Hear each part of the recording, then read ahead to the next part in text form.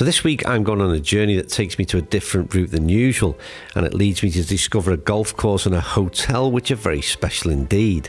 A change in direction in my search for some winter golf takes me down south to play on one of England's finest examples of heathland golf. And I'll be staying in Surrey's finest hotel and spa, Pennyhill Park. Playing golf in what's commonly known as Surrey's Sandbelt will be a first for me and a real privilege to play one of the finest examples of heathland golf.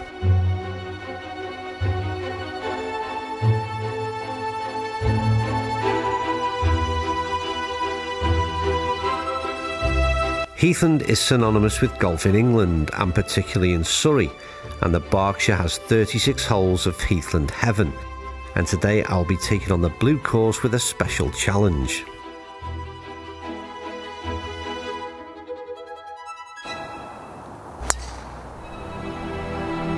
Right, I can tell you, I didn't have the nerve to stick a camera behind me and attract too much attention, but I hit a really good three wood and uh, I can't see it into the sun, but I think we're in and around the green. All I can say is after the nervy start, it's a great two putt, that's a par three to start. We'll have a look round today, but we're also going to be taking on a challenge and it includes this par three and three more.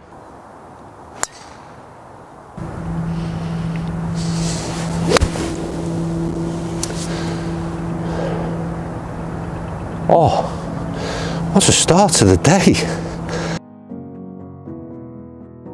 Founded in 1928, the Berkshire Golf Club is home to two Herbert Fowler designed courses, both of which are widely regarded as amongst the best in the British Isles.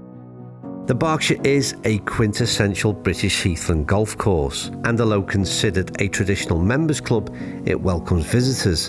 And I have to say, I spoke to many members who seemed very friendly indeed and a very accommodating clubhouse.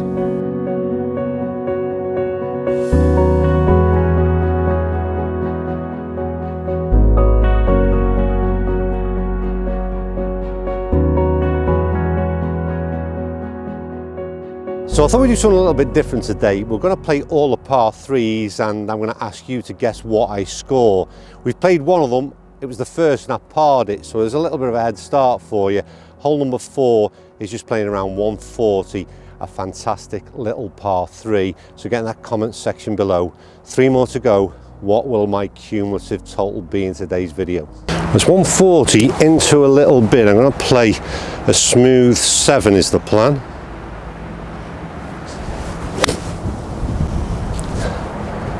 Right on the flag. Oh, it's also right in the bunker. Ah, not enough. But when you realise how close the flag is to the other side of this bunker, you realise this could have been a very good shot. It's also an incredible downslope, and we've now got a pretty tough one. Up and land soft. That is as good as I can play a bunker shot. We might save a par. Oh, come on, no messing.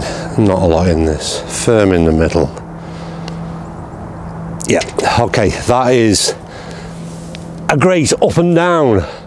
Two par threes, two threes. Don't be cheating either, make sure your guess is in already.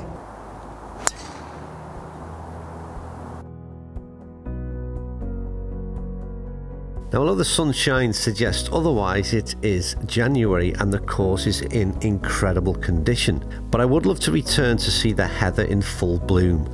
The fairways lined with purple and pine trees would see the Berkshire in all its glory.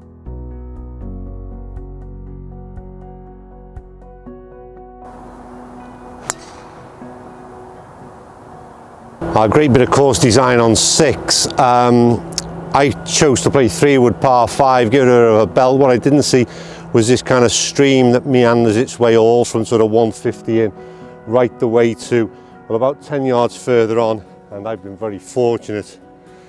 Um, to be on dry land I've got a decent lie as well.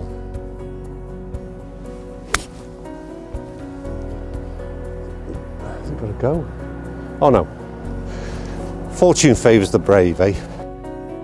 The Berkshire is steeped in tradition and played host to many major events such as the English Amateur Championship and the British Seniors Open Championship, and also two major annual events on the amateur calendar the Astor Salver for ladies and the Berkshire Trophy for men.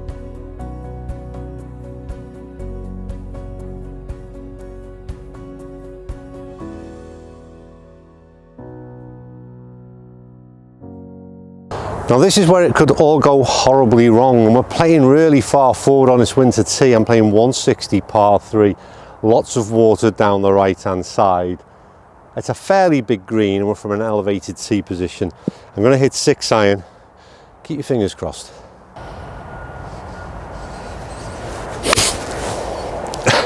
You can tell I didn't want to go right, just pull that down the left a little it was a right club as well. It's pin high, not brave enough to go for that flag for fear of anything leaking to the right. I think we'll be happy with that. Well, it's definitely the right club and definitely the right decision to come what is down the left hand side because that flag is a lot closer to the water's edge than I thought. Anyway, I imagine this is a slippy putt. In the summer months, you wouldn't want to go too far past the flag. Let's see if we can just nudge it down there. Get me a bit further. Oh, that was a good line as well. Yeah, we've notched up three threes, but perhaps more importantly, just how good are those three par threes and just how good is the Berkshire. Oh my word, what a golf course. That was a bullet of a three wood from today's sponsor Takomo. And the irons I've been playing in today's videos are the 101Ts and the 301CBs alongside the Takomo fairway woods. Once again, huge thanks for the support from Takomo.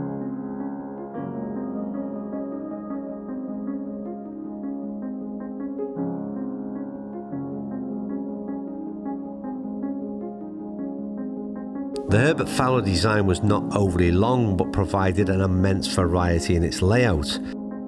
Playing in amongst the idyllic surround made for a day of golf which will long live in my memory.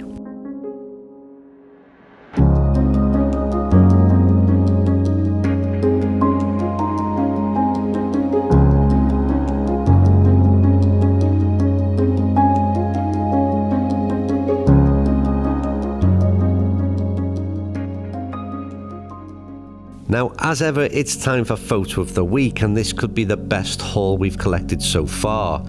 If you're new around here, it's a simple Tracy or Andy in the comment section below for photo of the week.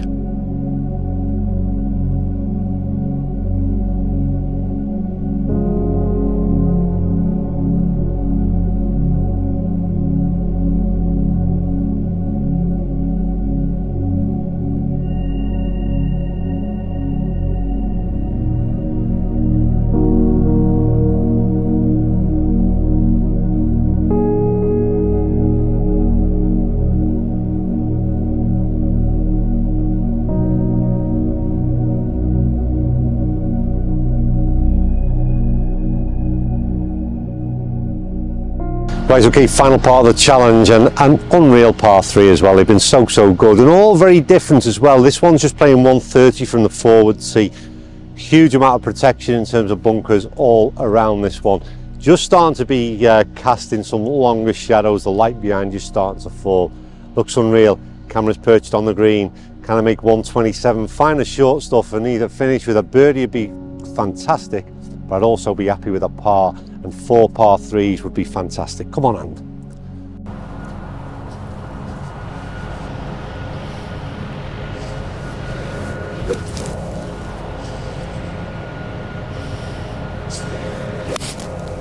Oh, and that's the best one today. Come on, be the right yardage and sit on it. Oh, golf shot. Come on. Okay.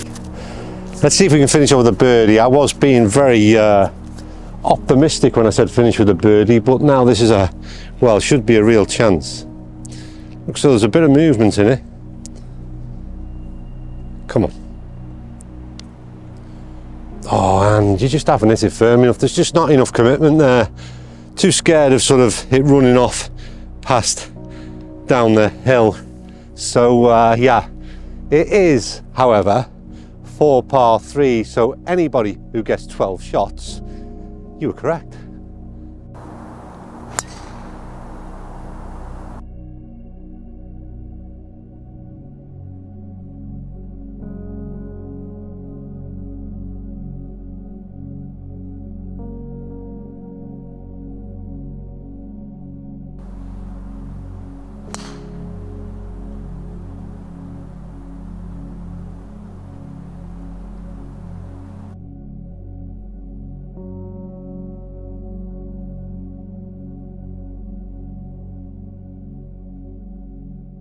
An unbelievable afternoon at the Berkshire Golf Course. This was the blue course, don't forget. I can't speak highly enough of it. It's certainly one of the best courses I've ever played and also not forgetting that we're playing it in January. Incredible. Anyway, this special little trip doesn't end here and I can't wait to see what's in store this evening at Pennyhill Park.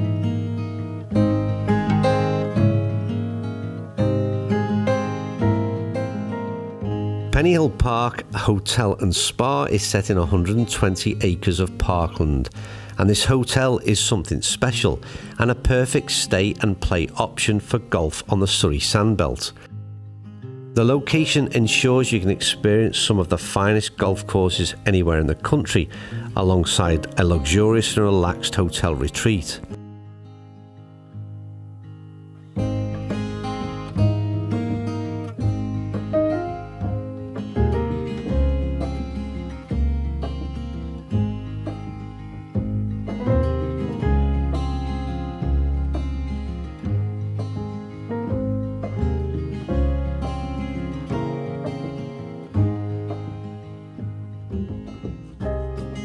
As you can see Pennyhill Park is a very luxurious hotel and our room was pretty special. So nice we almost didn't want to leave it but we did prize ourselves away to dine at the Hillfields restaurant and as expected the food was excellent.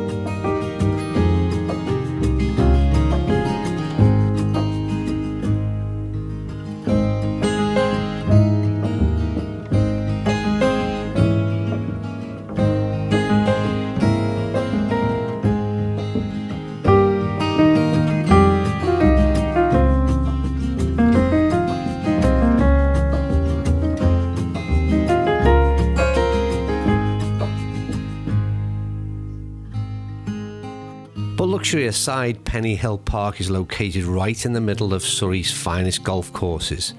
It was seven minutes from the Berkshire, but has Walton Heath, Swinley Heath, Sunningdale, and Wentworth right on its doorstep. And if you want a day of rest, then the spa at Penny Hill is the perfect retreat. This really was an unforgettable play and stay in Surrey. At, uh, as I've already explained, some of the finest golf and hotel accommodation we've experienced on this journey so far. I'll see you next week.